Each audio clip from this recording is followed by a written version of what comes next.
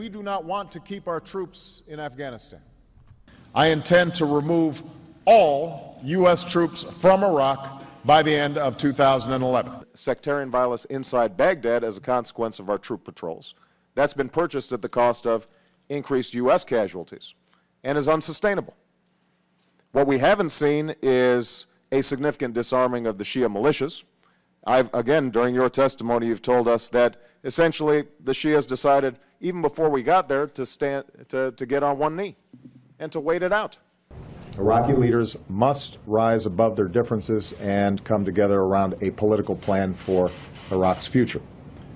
Shia, Sunni, Kurds, all Iraqis must have confidence that they can advance their interests and aspirations through the political process rather than through violence. Now, it's not the place for the United States to choose Iraq's leaders.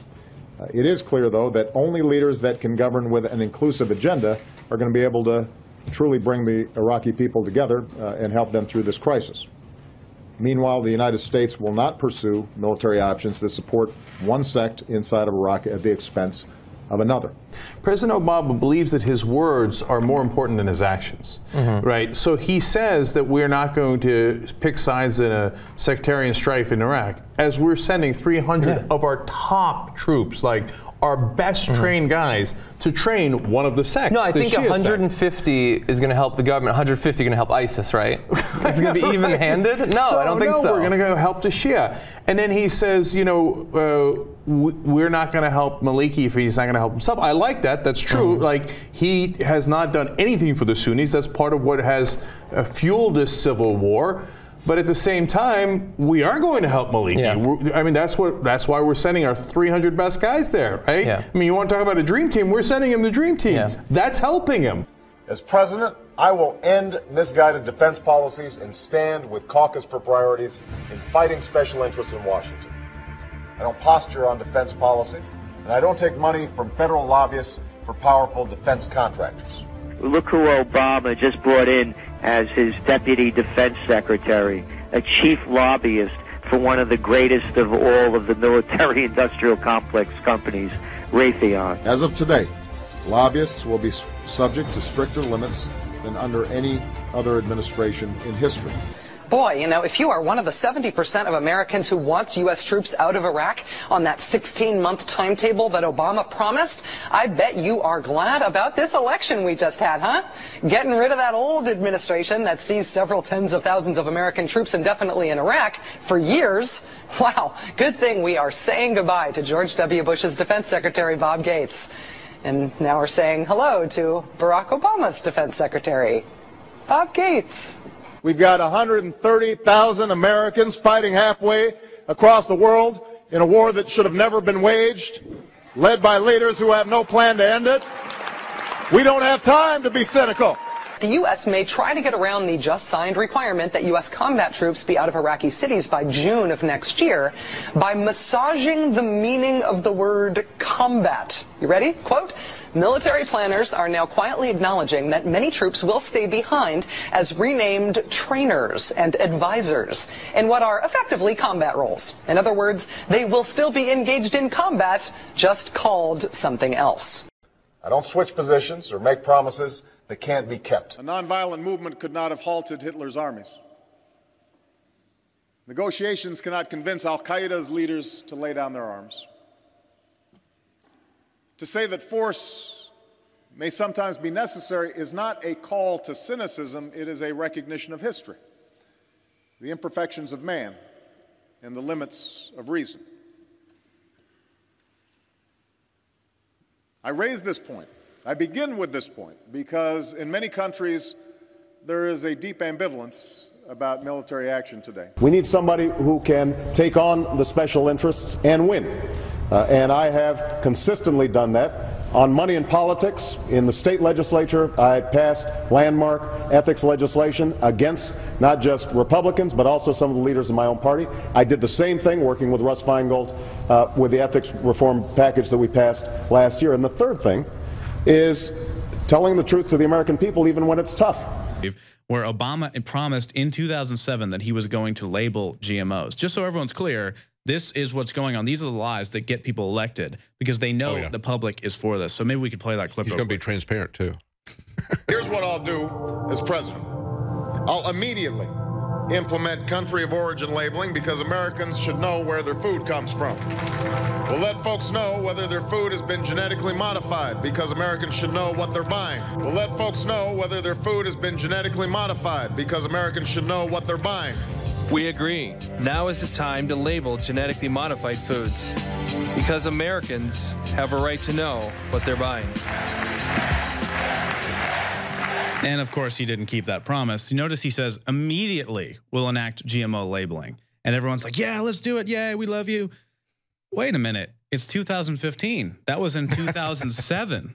Mm-hmm. That just shows, though, the manipulation. They know what people want. 90 plus percent want labeling.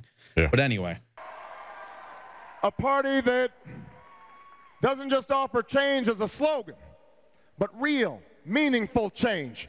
Change that America can believe in. That's why I'm in this race. That's why I'm running for the presidency of the United States of America. To offer change that we can believe in. When we summoned the entire nation to a common purpose, a higher purpose. And I run for the presidency of the United States of America because that is the party that America needs us to be right now. I am in this race to tell the corporate lobbyists that their days of setting the agenda in Washington are over. I have done more than any other candidate in this race to take on the lobbyists, and I have won. They have not funded my campaign. They will not work in my White House, and they will not drown out the voices of the American people when I am president. And he will not be able to say that I wavered on something as fundamental as whether or not it is okay for America to torture because it is never okay. That's why I'm in it. I will close Guantanamo. I will restore habeas corpus. I am running for president because I am sick and tired of Democrats thinking that the only way to look tough on national security is by talking and acting and voting like George Bush Republicans. But we are here today because of a very specific challenge, and that's countering violent extremism.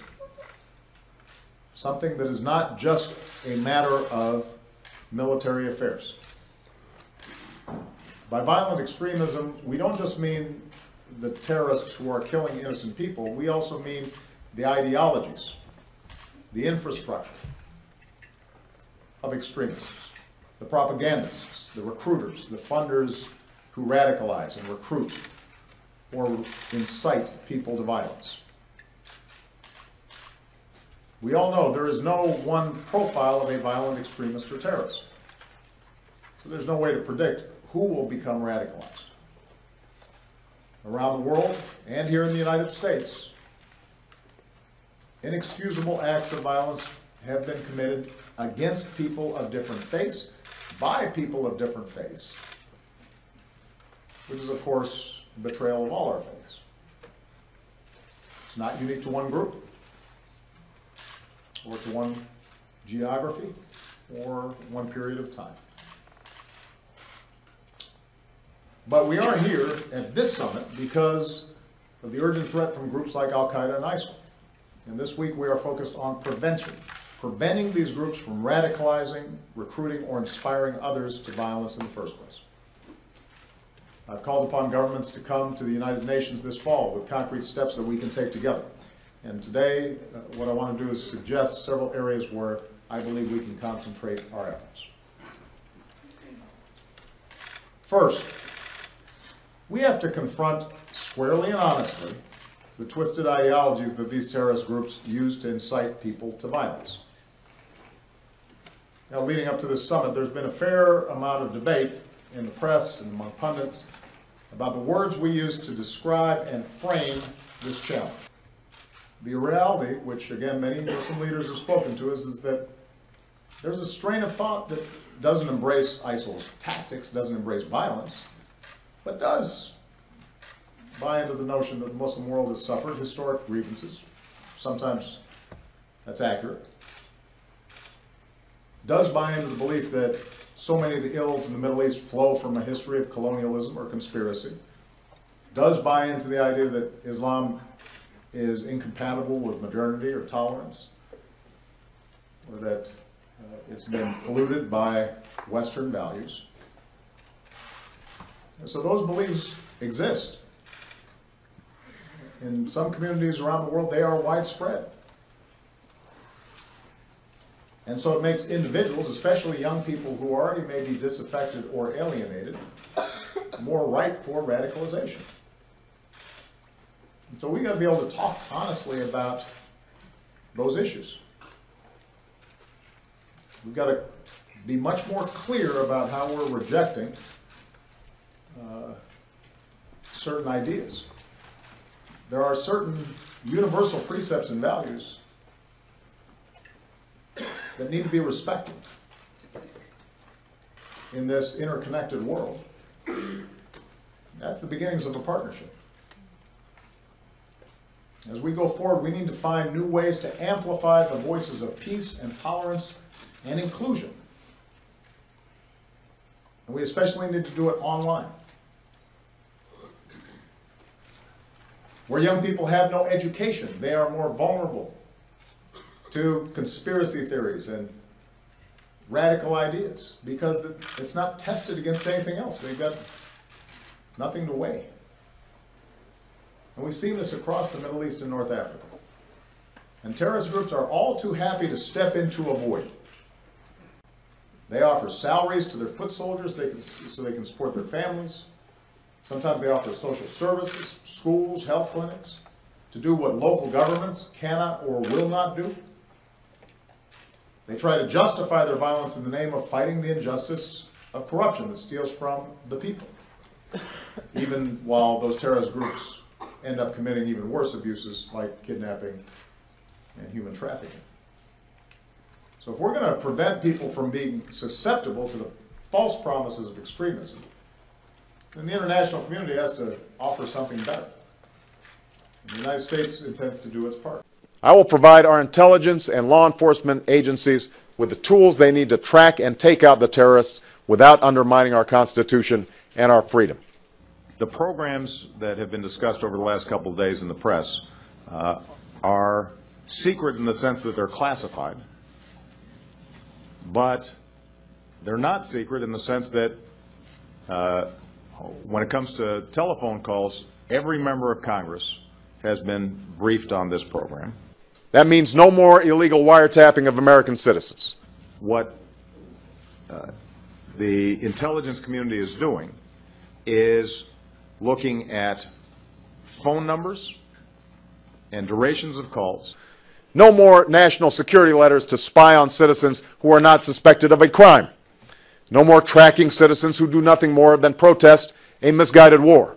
What uh, the intelligence community is doing is looking at phone numbers and durations of calls. No more ignoring the law when it is inconvenient. They may identify potential leads with respect to folks who might engage in terrorism. That is not who we are. Uh, we've also set up an audit process uh, when I came into office to make sure that we're, after the fact, making uh, absolutely certain that uh, all the safeguards are being properly observed. And it's not what is necessary to defeat the terrorists. My assessment and my team's assessment uh, was that they help us prevent terrorist attacks. We will again set an example for the world that the law is not subject to the whims of stubborn rulers and that justice is not arbitrary. This administration acts like violating civil liberties is the way to enhance our security. It is not. There are no shortcuts to protecting America. Uh, you can't have 100% security and also then have 100% privacy and zero inconvenience. To seize this moment, we have to ensure free and full exchange of information. And that starts with an open internet. I will take.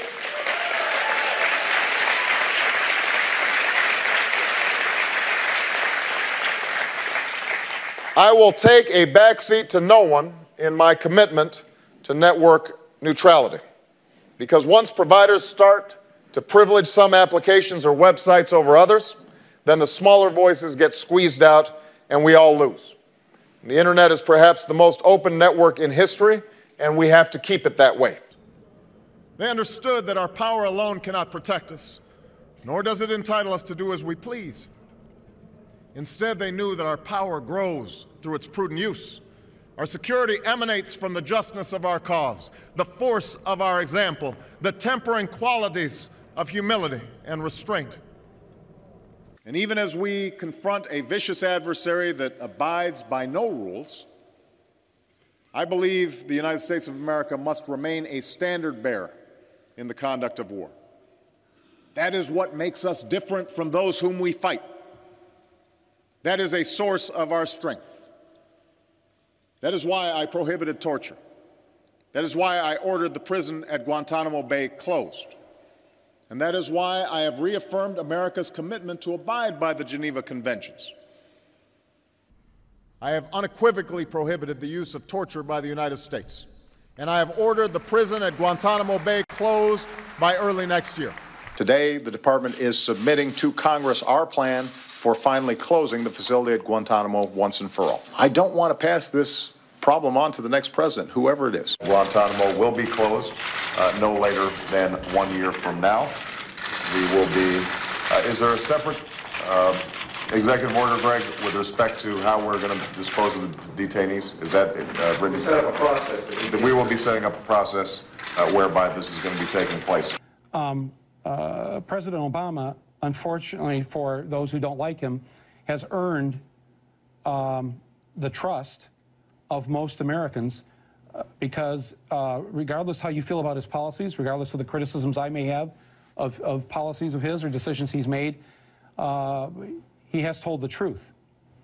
And uh, until proven otherwise, I think that uh, that's been his track record uh, for his years both in Congress, in the Senate, I mean, and, and in the White House. And so, so to, for me, he gets the he gets the benefit of the doubt. What I don't think we're being told. I mean, I mean, I mean, Yeah. I mean, I mean, I mean, I mean, Michael, let me just ask you something on that. I mean, Yeah.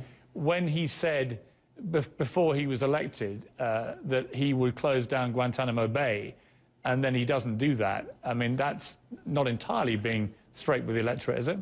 Well, he hasn't done it yet. Uh, that's not telling a lie. And by passing health care, the Democrats saved their brand. A few months ago, a few months ago, Sarah Palin mockingly asked them, How's that Hopi changey thing working out for you? Great, actually. Thanks for asking. All the amazing things that happened over these last 10 years are really just a testament to you. In the same way that when we talk about our amazing military, as, as cool as the hardware is, and we got cool hardware, as cool as the machines and weapons and satellites are, ultimately it comes down to remarkable people. Thank you, everybody. Yes, we did. Yes, we can. God bless America. I think the problem isn't just how we fought the war, it's that we fought the war in the first place. This isn't just a problem of execution, it is a problem of conception. Uh, at the time, I was a candidate for the United States Senate, and I spoke out strongly in opposition to war. Nearly all of my opponents for the Democratic nomination for president made a different choice and voted to authorize war. Have you ever heard more drivel coming from somebody who's not even the president? And only Bernie LaPlante knows he stole the part. Another man filled his shoes. Hi, Jose. He's a fake. he looked the part. You didn't tell me he was so cute. He saved my life. He acted the part, and only Bernie LaPlante knows he stole the part. Camera we looking at? This one right here. Devin, we are proud of you. We are grateful for your service. Uh, we want to get you back home. We are going to need more troops in Afghanistan. Uh, we want to get you back home. My brother's now in Afghanistan. Uh, we want to get you back home. We are going to need more troops in Afghanistan. He said one thing, I'm not against all wars. I'm against dumb wars. Okay. He, that's what he said. I think the problem isn't just how we fought the war, it's that we fought the war in the first place. You can't believe one word you see on TV. Not one word. I was inspired by that hero. That fake inspired you? We cannot continue to rely only on our military in order to achieve the national security objectives that we've set. We've got to have a civilian national security force that's just as powerful, just as strong, just as well funded. Obama's health care plan will provide subsidies for families who cannot afford Medicaid. Obama's health care plan will be able to provide participants the ability to move from job to job without taking the health care coverage. Obama's health care plan will extend coverage to young adults up to the age of 25 through their parents' plan.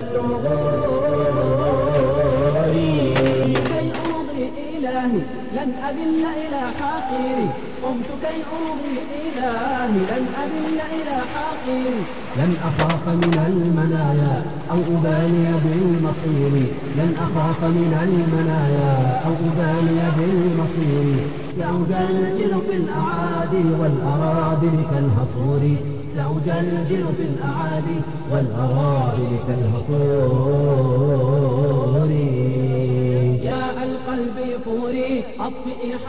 Because of Obama, I'm inspired to be the next architect. Because of Obama, I am inspired to be the next chemical engineer.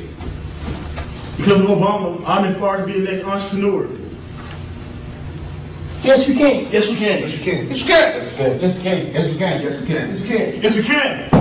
Obama needs to raise America. Yes, we can.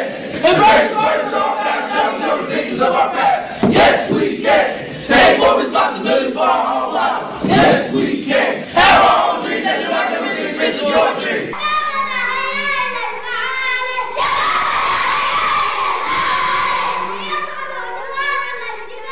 الله بلغ عني يا أبتا أني أبغي وجه الله إن أرضى الكفار أناس فمرادي أن يرضى الله Yes, we can.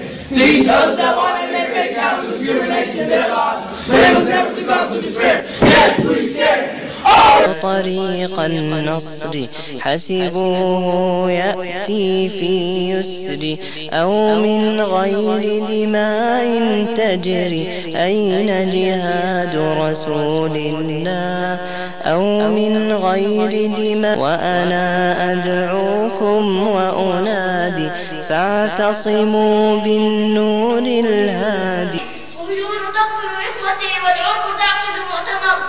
أذناب أمريكا غدوا عميا فليس لهم نظر حبر على ورق فما صدقوا ولا ظهر الأثر. لم لم قوة تحمي الصغير من الضرر. هذه وربك بصمة كبرى يساق